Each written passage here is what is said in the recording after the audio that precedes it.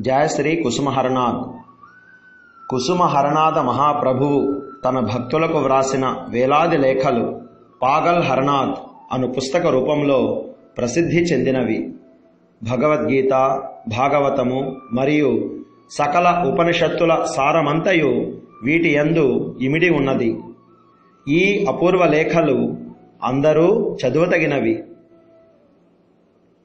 గోపికలకు కలిగే ముక్తి కృష్ణుని మురళి వలన నారదునకు కలిగే సిద్ధి అతని మహతి వలన మీకు లభించినవియే నాదు లేఖిని వలన.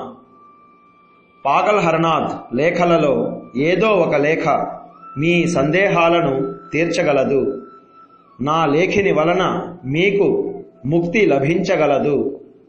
శ్రీ కుసుమహరనాథ్. కుసుమహరా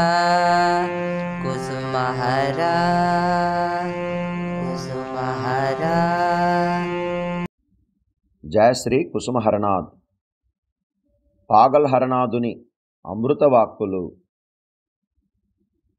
సర్వదా హరినామమునందే మత్తుడవై ఉండు. నిరంతరము కడకు పరున్నా నిద్రపోతున్నా స్వప్నంలోనైనా కూడా నామంలోనే మునిగి ఉండు.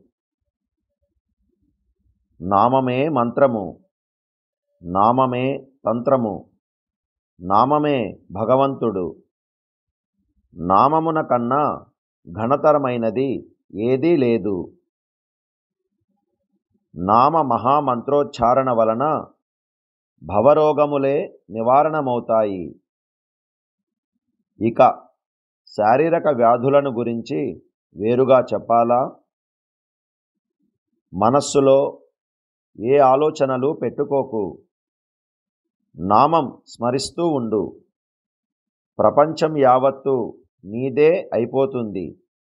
అటుపై నీవు ఆయన వాడివి అయిపోతావు.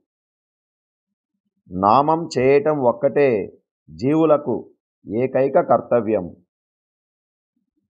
వారి జీవిత లక్ష్యం కూడా అదే. కృష్ణుని మరువగానే మానవుడు మాయకు దాసుడైపోతాడు. కృష్ణుని స్మరించగానే అతడు జీవన్ముక్తుడవుతాడు. సుఖదుఖాలు క్షణికమైనవే. వీటిలో మునిగి కృష్ణుని మరచిపోవటం దోసిళ్ళతో విషము త్రాగటం వంటిదే.